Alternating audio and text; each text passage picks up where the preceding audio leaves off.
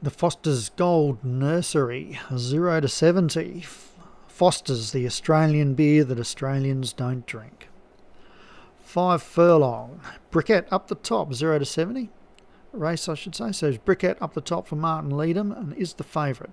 Mix it up. Kempski Instinct, Lazy Eye, Blorenge 4, Fed Up Bird, Ghost Train, My Mum Gert, Sylvanus Alzane, Witty Rest, Jack Rackham, John Seaford.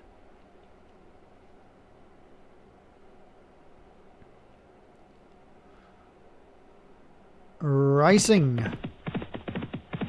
Not a bad line. Scampering out Jack Rackham with My Mum Gert.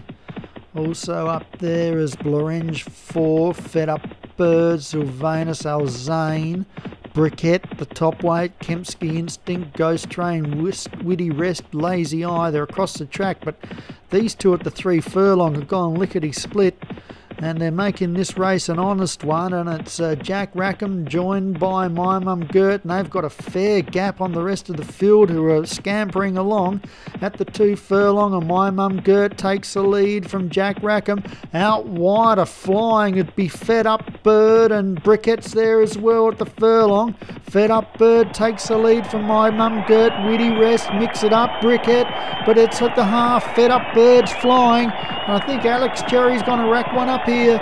And Fed Up Bird comes down to the line and wins from Mix It Up and Witty Rest Briquette fourth.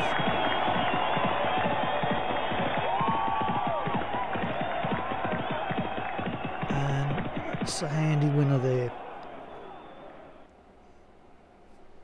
Alex Cherry will be all smiles with Fed Up Bird, and that's one comfortably. Second, Mix It Up, Obi-Wan. Third, Witty Rest, Hollywood Hinton. Fourth, Briquette, Martin Leadham, and My Mum Gert for Hollywood Hinton finished fifth. Then we had Lazy Eyes, Sylvanus Alzane, Ghost Train, Kempsky Instinct, Blorenge 4, and Jack Rackham.